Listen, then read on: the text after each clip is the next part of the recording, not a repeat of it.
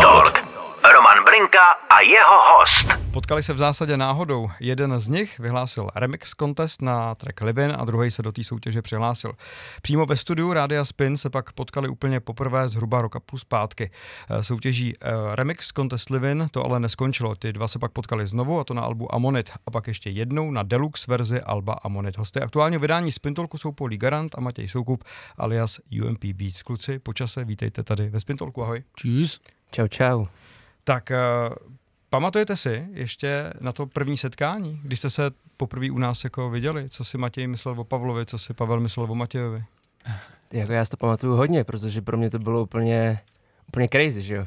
Hmm. Jsem přijít prostě po tom, po tom remix contestu a byl jsem samozřejmě strašně nervózní, že jo, protože jsem měl jak jakoby jít do rádia poprvé, tak se potkat s Pavlem, Mhm. což to bylo takový Co bylo jako... Ty jo, tak vlastně jako Rádio.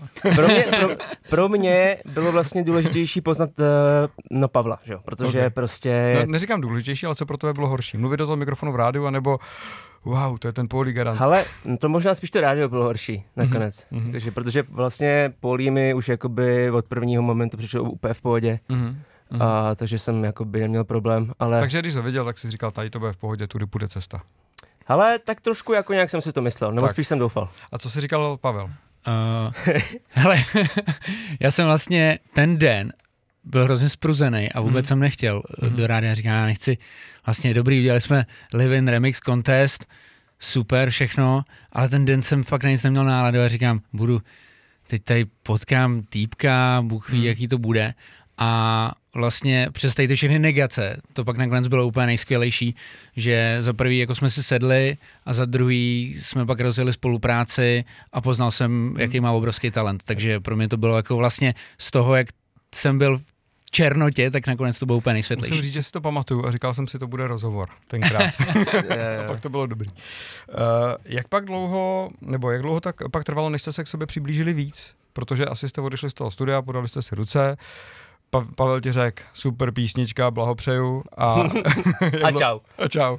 Ale jo. Ale Jak tam, tam to bylo tak, že uh, jak mě zaujmul jako týpek, tak eh, jsem chtěl slyšet nějakého další věci a vyhecoval jsem, ať přijde do Liberce, ať vezme nějaký svůj balík beats Mhm. a že se sedneme do studia, pustíme to a že mě to vlastně zajímá. A, Takže jste se domluvili takže hnedka? jsme se domluvili hned, že, že si napíšem a že za mnou přijde do Liberce. Jakoby jo, ale chvíli to trvalo, než jsme se jako fakt sešli. Bylo to třeba, já nevím, podle mě to byly třeba dva měsíce, než jsme se jako fakt uh, sešli, ale už jakoby tady jsme si Prém, ti, řekli. trvalo, ti trvalo udělat beaty. jo. No, trvalo mi, protože já jsem v tu dobu totiž, já jsem neměl moc beatů, jo, Aha. který bych mu ukázal, takže já jsem jako to tak nějak možná trošku jako odsouval mm-hmm. sám. Mhm, mhm. A říkal Protože jsem, jo, jo. zklamat. A vlastně jsem strašně jako usilně mm-hmm. makal na beatech prostě na peku, který jsem nakonec jako nějaký udělal a ty ho zaujmuli vlastně potom, no. No.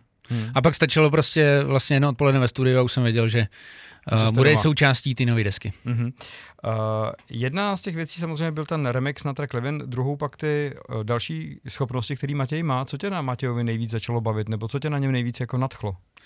No vlastně jsem nepoznal producenta, který by zároveň uh, byl i interpret, Mhm. že vlastně jsem mě viděl hned i ten potenciál toho, že to není jenom beatmaker, ale že to je songwriter, že uh, umí jakoby napsat super texty, umí udělat skvělé melodie a poslat mi vždycky track, který už je vlastně vystavěná skladba, že občas někdo pošle jenom loop, nějakou mm-hmm. smyčku Jasně. a on to vlastně staví tak, že uh, ty v podstatě tam máš prostory na sloky, můžeš si ten refrén nějakým způsobem přepsat nebo použít i to, co on vlastně udělal a to tady v Čechách jako jsem nikdy nezažil a vlastně jsem z toho byl jako totálně pav. Hmm. Tak to je docela velká poklona. Uh, proč jsi ty, Matěj, vybral Paulího Garanda? Proč tě zajímal, proč tě bavil? Jako, já jsem se Protože ho úplně nikdo ne- nevybral. Nik, nikdo neudělal remix contest. No asi tak, asi tak, ale prostě to byla jako, já jsem ten remix contest viděl úplnou náhodou, prostě se mi to objevilo na, eh, na, na Instagramu, já jsem právě teprve vlastně před pár týdny, než než eh, Pauli vyhlásil ten remix contest, tak jsem ho, te- tak jsem ho teprve začal sledovat. Mhm. Jo, ale jeho hudbu jsem měl rád jako už dlouho, Mhm. ale pak jakoby jsem trošku přestal ho, ho, ho sledovat a pak jsem se zase k tomu vrátil a zrovna prostě vyšel ten remix contest, jo. Takže ono to byla spíš jako taková náhoda, Mhm. ale nakonec jsem vlastně byl strašně rád, Mhm. že A to bylo zrovna ještě jinak, kdyby teda Polí ten, tu, ten remix contest tenkrát nevyhlásil, byl by nějaký uh, jiný rapper, u kterého by si spřál, aby tu soutěž třeba vyhlásil? Komu bys rád udělal ten remix?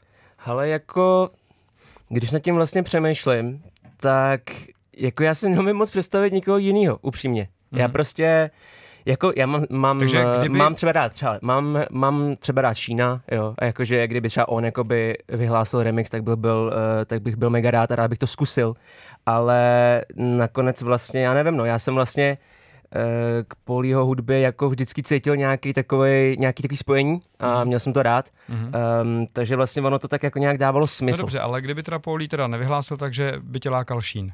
A kdyby Třeba. teda nikdo nevyhlásil remix uh, soutěž, tak sedíš doma v koutě a čekáš, až tě najdou. Ano, ano, asi tak. Dělám si svoje popěvky na kytaru a prostě... Tak, vy jste se teda pak potkali v tom studiu, ty jsi přivezl ten balíček těch beatů a těch, těch tvých zpěvů. Uh, Polí hnedka řekl, budeme spolupracovat na desce, nebo, nebo to bylo nějaké jako postrkování a přemýšlení? Já si myslím, že to nebylo úplně hned, jako. Bylo to takový, jako že jsem tě zaujal a pak jakoby vlastně to, že děláme na, na albu, nějak jako se vyvinulo prostě z té prvotní Hmm. spolupráce, že jo. Ono v podstatě to vzniklo možná i nějakým pak jako trackem, kde jsi měl nějaký refrén nastřelený. Jo, jo. A hlavně pak, když jsem jako nahrál All My Life, což byl jeden z prvních singlů, tak jsem to Matějovi podsunul, protože to produkoval původně vlastně Milan, André, Mhm. který taky tam má spoustu věcí a Matějovi jsem to podsunul, ať tomu zkusí dodat nějaký nový kabát a on vlastně z toho udělal jako totální hit Mhm. a strašně to osvěžil tu věc a to pro mě byl vlastně asi ten největší impuls, že jako jo, to je prostě člověk, který ho potřebuji. Mhm. Uh, teď to bude trošku bolavý pro Polího, ale každý jste už vlastně jiná generace. Tak já jsem dědek, že? Jo, A- vždycky říkám. Tak by mě vlastně zajímalo, jestli cítíte nějaký jako hudební rozpor v tom, jak nad tou muzikou třeba přemýšlíte. Jestli najednou jako tobě Matěj otevírá nějakým způsobem jako dveře, anebo mm, tebe zase Pavel nějak jako usadí, říká, ne, nechme to tak a tak. Hele, já na to řeknu fakt asi jako rychlou odpověď a je to přesně jak jsi říkal, že on mě inspiruje a je super mít jako furt uh, jakoby vedle sebe nějakého mladěse, který vlejvá prostě tu novou krev jako a trošku tě jako hecuje. Mm-hmm. A Matějův postřeh? Ale jako mm, mně se vlastně na Pavlovi strašně líbí to, že on se nebojí zkoušet nové věci, což je vlastně super. A já si myslím, že jako mám eh, hodně nápadů, který třeba dřív by u něj ne, eh, neprošly, mm. ale prostě tím, jak vlastně roste jako interpret a jako hudebník, tak vlastně se nebojí zkoušet nové věci a mě to vyhovuje, protože já pak můžu experimentovat. A co jsou to třeba za ty nápady, který by předtím Polí třeba zaříznul a teďka jim otevřený? A tak já nevím, já- jako já, já třeba, já, eh, když si jako, eh, když třeba vemu track Star Kids, jo, Aha. tak jakoby není to nějaký úplně crazy experimentální track, ale myslím si, že je to relativně jako fresh věc, prostě sp, eh, zpěvný refrén i vlastně Polího lehce zpěvný sloky, k čemu si myslím, že ho i, i jako trošku tlačím, někdy vlastně třeba víc jakoby do, do těch zpěvnějších věcí. Hmm. A, Ale tak já si myslím, že k tomu ty máš zase zrovna docela i blízko, ne? Mám, ale potřebuji právě nějaký takovýhle impuls, Mhm. že uh, v podstatě i něco bych nevymyslel sám, že v takhle jako když si sednem spolu, tak to jde o dost líp. Mhm. Uh, co formovalo Polího, co by muzikanta, jsme řešili moc krát. Uh, zastavme se u tebe. Co formovalo tebe hudebně, Matěj? Ale no, jako mě, já jsem vždycky nejvíc poslouchal prostě hlavně jako zahraniční věci. A, A Českou- žánrově, žánrově. Žánrově, ale uh, hip-hop určitě hodně, ale taky třeba jako folk, jo, Mhm. to je prostě uh, moje, uh, moje obrovská vášeň. A je super, že Polito má, uh, že Polito má taky rád. Hmm. K tomu To se máme- dneska ještě dostaneme To v mám poslední právě podobný, že rozhovoru. když jsme jeli uh, do Brna za Díkopem, dělat tracky, tak vlastně po cestě jsme jako poslouchali country a folk Hmm. a vlastně málo kdy najdeš člověka, co to má také podobně. No. Tak ono je dost možné, že se vám to jako v nějaký budoucí spolupráci ještě víc asi jako promítne do té hudby, ne? Předpokládám. Já si myslím, že jo. Už promítlo možná. Už, no tak jasně, ale ne tak asi zřetelně, jenom v některých uh, trecích. Uh, ty máš, Matěj, nějaký hudební formální vzdělání, nějakých, já nevím, 8 let ledušky nebo něco Uh, takového? ne, nemám, Konzervu? ale jenom jsem absolvoval, eh, absolvoval jsem kurz uh, hudební produkce Mhm. mm-hmm. na, na jedné britské škole, bylo to vlastně na rok. Mhm. Uh, to mi jakoby hodně, hodně pomohlo a jsem vlastně vděčný uh, mým rodičům, že mě tady v tom podpořili. To Mhm. bylo vlastně eh, ten rok předtím, než jsem A v čem, tě vyhrál. to, v čem tě to třeba nakoplo? Co ti to ukázalo jinýho? Ale ukázalo mi to jako tu cestu prostě, jo. Ukázalo prostě jsem se, na, eh, naučil jsem se nejen jak líp produkovat, ale taky jak třeba zmixovat song, zmasterovat ho. Takže Hmm. hmm. takový vlastně celkový jako repertoár prostě jsem si vylepšil. A myslíš, že třeba tenhle typ dovedností vzdělání v Čechách vůbec není? Ale je, je, ale je to hodně limitovaný a jsou to spíš jako takový ty hudební školy, jakože, kde musíš dělat nějaký talentovky a je to hodně třeba o jako hraní na klavír, že jo, hraní jako by na piano. A já jsem chtěl fakt jakože tu produkci prostě v programu na počítači. Jasně. A to jakoby jsem viděl spíš jakoby takhle. Ty působíš hodně, hodně muzikálně, hodně zpěvně. Uh, řekl bych, že z tvýho projevu hudebního já osobně cítím hodně moc jako osmdesátky nebo raný devadesátky. OK. Je to tam, nebo to tam není, nebo jsem úplně jako mimo tu úvahu? Ale já to jako takhle asi úplně nevnímám. Já, mm, já prostě dělám to, co mě baví a že bych jako bral hodně inspirace z 80. anebo tak, anebo tak to asi úplně ne. A Pavel to tam slyší, ty osmdesátky, nebo jsem jediný tady v tom studiu, kdo tam vnímá jako takový lehký závan 80. let? Uh, já tam vnímám spíš takovou tu inspiraci těch nových interpretů, který trošku to dělají uh, jako vintage. Hmm, možná, možná Asi tak, to asi bude. tak. Jak dlouho, Matěj, myslíš, že se u toho, u té kombinace rap a zpěv zdržíš? Eh, Nebo jestli jako máš v plánu, jako máš ambici mm, jít pak jako třeba mimo eh, žánr kombinace rap pop? Určitě jakoby mám ambice jít eh, jinam, protože fakt jakoby mě baví hodně ro- rozdílné věci. Jinam. Cože? Dej řek jinam. Je- A Ne, ne, ne. jako jakože, jakože prostě, um, jak to říct, no prostě určitě, chci, chci jakoby zabrouzdat i jinam, než mm, uh, takže- do repu a tak. A Budeš třeba, muset vyhlásit novou soutěž. uh, třeba teď jakoby pracujeme na nějakých věcech se Sofianem, Mhm. mm-hmm. uh, který je podle mě skvělej. Takový vlastně, já říkám, že to je takový český Harry Styles, ale má ještě možná trošku vě, uh, větší styl pro mě. Mhm. Uh, takže určitě já, já jakoby chci vyzkoušet i, i, i jiný věci, Mhm. mm-hmm. než jenom hip OK. Tady je Radio Spin, Spin Talk, Roman, Polí Garant a taky Matěj Soukup alias UMP Beats. Probrali jsme společnou spolupráci obecně a za chviličku pořešíme třeba deluxe verzi Alba Amonit, která je právě teďka venku. Radio Spin, Spin Talk, Roman, eh, Polí Garant a taky UMP Beats. Tak, eh, album Amonit eh, vyšlo v říjnu loni, to datum bylo významný. Eh, Zeptám se tě, bylo i to datum vydání deluxe verze něčím významný, nebo to bylo random? To mi k tobě úplně nesedí, že by to datum bylo random. Uh, ve výsledku bylo random, protože uh, jsme furt čekali na label, který schválí datum vydání. Do toho jsme čekali na uh, vlastně schválení jednoho tracku na práva. Uh, to je zrovna ta andělská s tou Navarovou, což mm-hmm. řešil Warner a řešilo se to strašně dlouho. A pak ve výsledku, když jsem vyhlásil, že to vyjde v polovině února, Mhm. tak mi psal jeden fanoušek, že ty to máš promyšlený, kamaráde, 14. únor, polovina února, Valentín má zrovna svátek, to je tvůj děda. A já jsem říkal, ty kráso, to jsem to jako vlastně nepromyslel, ale zároveň promyslel, takže bylo to nepromyšleně promyšlené. Takže ten osud tě dovedl prostě tam, kam vlastně by si chtěl dojít možná sám. V jakou chvíli se ty jako interpret, Pavle, rozhodneš, že bude deluxe verze? Kdy se to rozhodnutí jako učiní? Už když je hotová ta výchozí první deska, nebo ta první deska je venku, zraje a najednou si řeknete s Matějem, potkáme se ještě jednou, nebo kdy se jako interpret rozhodne, že bude deluxe verze desky? Hele, já jsem se nikdy takhle nerozhodl a tady to přišlo úplně spontánně, Jistě. protože jsem měl strašně nahraných tracků a přišly mi tak dobrý, že jsem je nechtěl nechat jenom někde v šuplíku nebo uh, vydávat hned nějaký nový projekt s jiným názvem nebo nový album. Chtěl jsem to furt zachovat v rámci toho Amonitu, takže vlastně ty nahrané tracky, co jsme měli, mm. tak jsme z nich vyselektovali těch osm a ty jsme ještě vlastně přidali. Takže jakoby nic nového jako nevzniklo. Prostě jenom jste vyndali ze šuplíku věci a řekli jste si, tohle to oprášíme, tohle to tomu Myslím si, že dva tracky vznikly po vydání desky, co jsou na tom Deluxe, Jo. nebo minimálně se jako upravovali a měnili, ale jinak většina těch věcí už byla nahraná hodně dávno a byly už vlastně v tom uh, hledáčku i na to album jako původní. Mhm.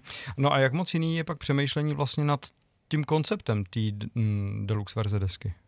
Co ta deska bude říkat? Mm, chtěl jsem, aby to drželo stejnou atmosféru a aby se to nějak jako ty tracky jako nějak nevybočovaly, což se, což se povedlo a zase zároveň No a nemáš To- pocit, že ta první deska, nebo ta výchozí deska Amonit byla víc taková jako klavírní, komorní? Jako jo, to Za- jsem teď chtěl říct, že právě tam jsou uh, takový trošku i jako uh, repovější témata, nebo není, to, není to tak, jak to říct, No není to tak do obejváku.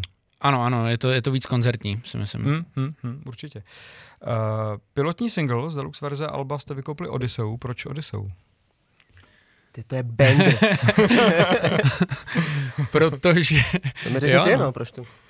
no já, já ten track jako miluju, takže uh, jsem za prvý chtěl vydat něco, co bude trošku lehce odlišný Mhm. tomu, co bylo předtím. Přesně, že to bude uh, jiný tempo než bap, že to bude, že to bude banger, že to bude trošku takový syrovější a zároveň, protože tam je Matěj Mhm. a má tam skvělý refrén a Mhm. chtěl jsem, chtěl jsem ho ještě víc jako vyslat mezi lidi na povrch, aby, uh, aby si prostě aby ho viděli i v klipu. Hmm.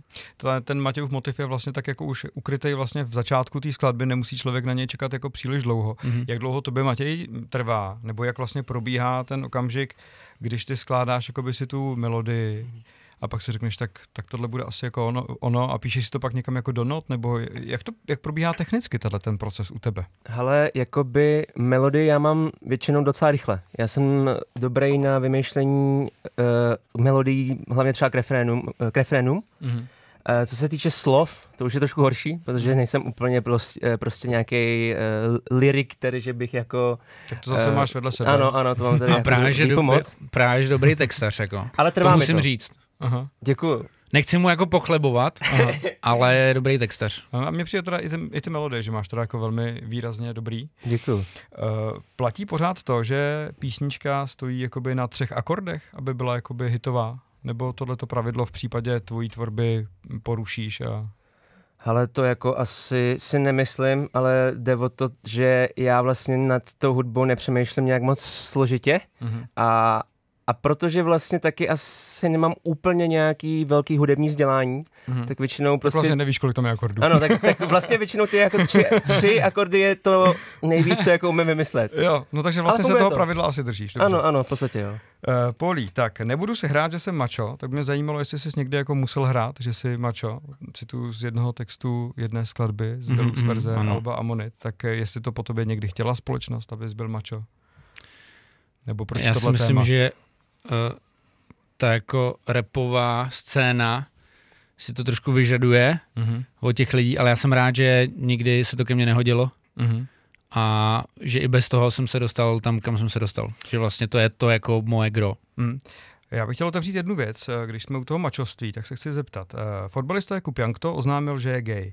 Je to aktivní hráč, aktivní fotbalista, fotbal je mačo prostředí, tak to asi pro něj muselo být těžký. Mě by zajímalo mm, jednak, jak to vnímáš ty jako fanoušek fotbalu, mm-hmm. Mhm. jako jestli, jestli to je prostě přijatelný, není to přijatelný, ale hlavně by mě zajímala druhá věc, eh, jestli obdobně, kladně by ta repová společnost přijala někoho, kdyby přišel s takovým přiznáním v repu, nějaký interpret.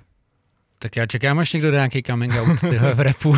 to tady chybí, si myslím. Jako. No a přijala by to ta společnost? Ta, to, jednak ty diváci, jednak ty posluchači, jednak ti ostatní interpreti? Protože sám si řekl, že vlastně jakoby v definici té uh, rapové kultury Aha. a subkultury prostě ten mačoismus prostě vlastně je a vyžaduje ho. Proto je možná taky úspěšných tak málo reperek v českém prostředí. Hele, eh, v roce 2023 si myslím, že už to je úplně v klidu, Mhm. že by s tím někdo mohl jít. A před třeba deseti lety by to byl jako problém, že si myslím, že by, že by to ne, vůbec nepřijala ta scéna a v dnešní době uh, už je to tak jako protkaný Mhm. vším možným. I když vidíš, co ty jako rapeři nosí na sobě, víš co, Hmm. sukně se jedou, Mhm. Uh, Uh, hodně to jako změklo Takže už to celý. stačí jenom říct prostě nahlas. Hodně to změklo celý a přesně už jenom jako otevřeně nahlas, no mě nebát se toho. Dobře, kdy si myslíš, že se toho dočkáme? V jakém roce? Bude to ještě letos? Já doufám, že letos. Dobře, tak jo, takže český kvírep.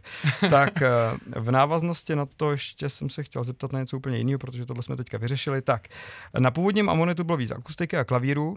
Eh, Jak byste definovali ten deluxe? Víc koncertnější, to už jsme tady vlastně asi řekli, takže o toho možná můžeme dál, ale jakým způsobem jste tam zařazovali ty prvky, aby to bylo víc koncertnější? Tak.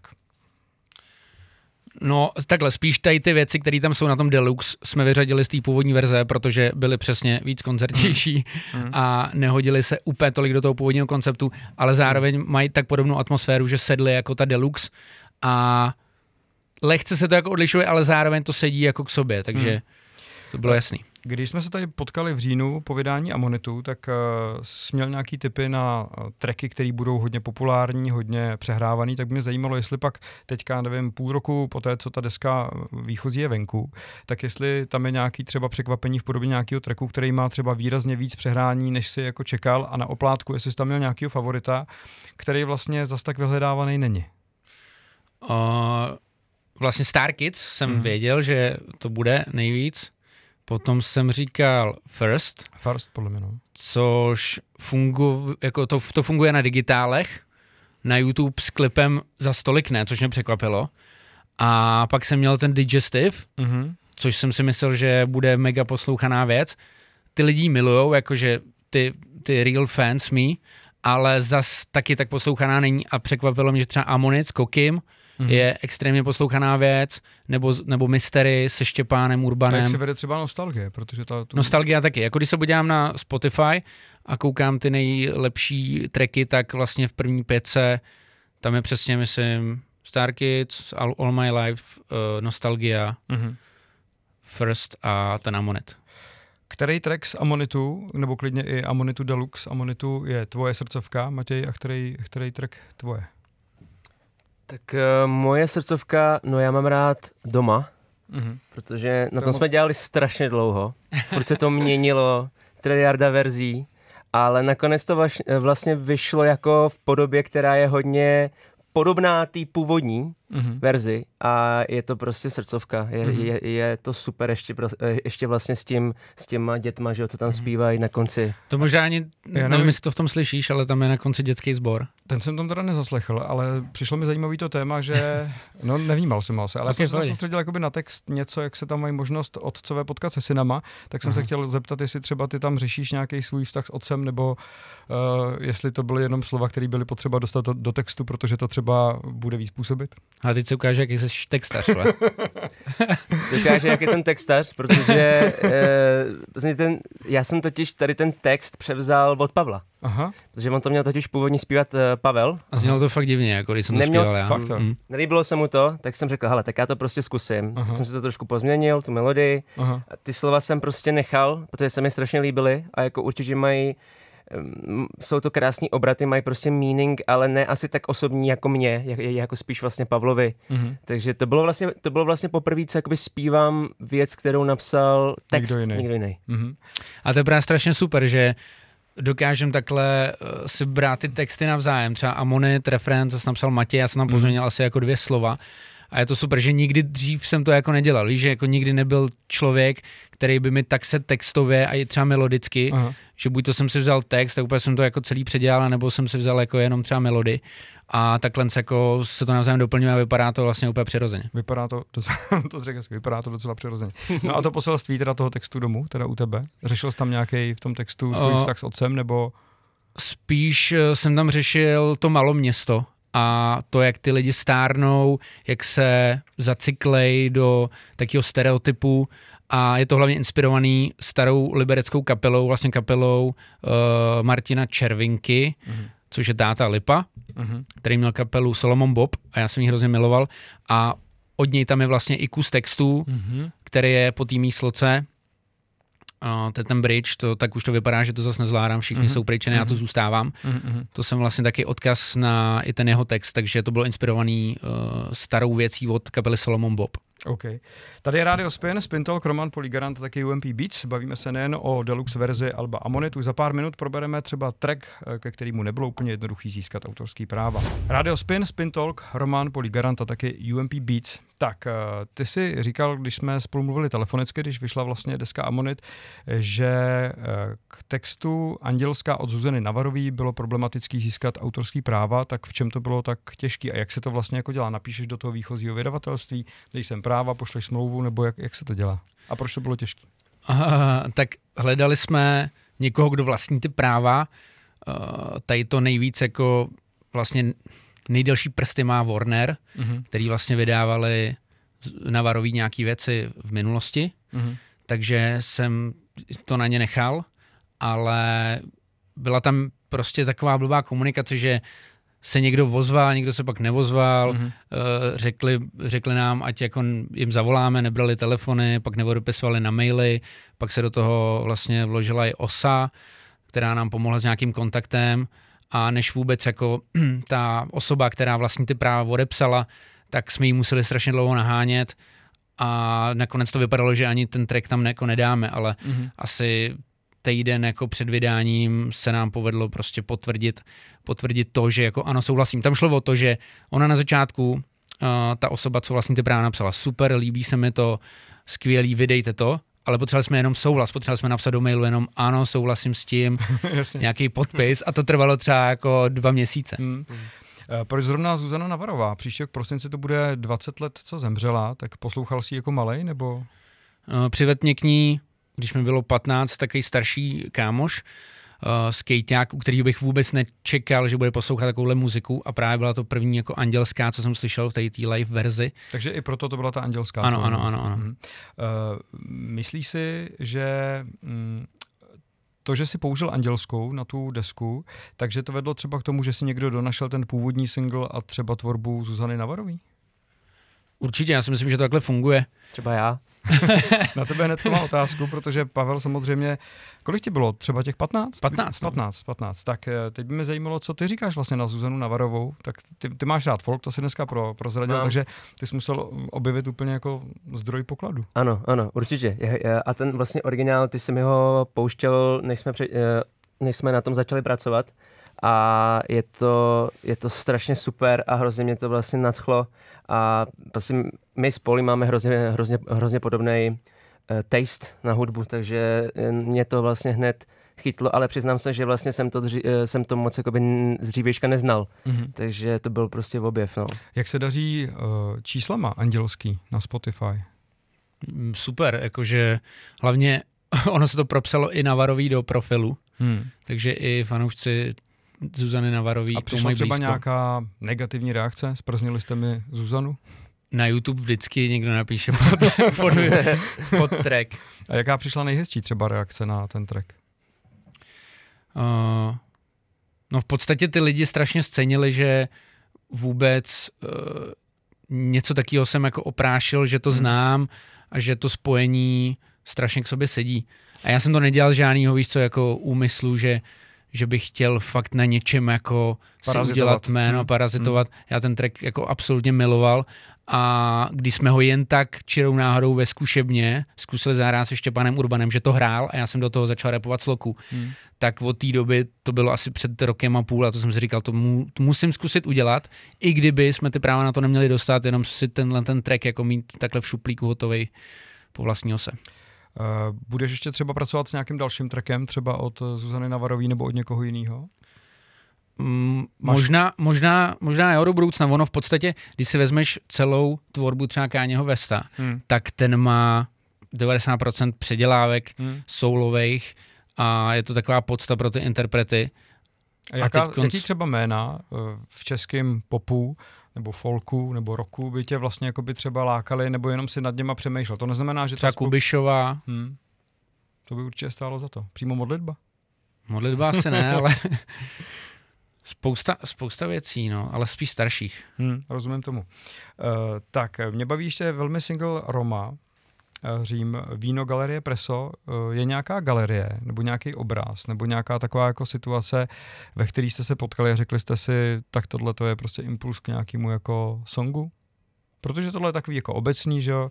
Tvé do galerii to nechodíme moc. Nechodíte. A to já jsem si právě Společně. říkal, no tak jako dobře, ale tak No, jasně, solo. jasně, jasně. Jasně, jasně, jasně, závorce drsně.